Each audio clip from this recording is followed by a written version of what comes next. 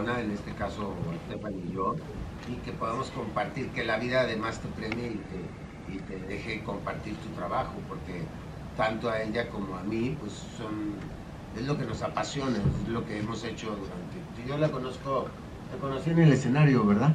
Ella sea conmigo el, el protagonista hace oh, muchísimos años, después hicimos algunas novelas, pero en teatro hicimos el, el protagonista era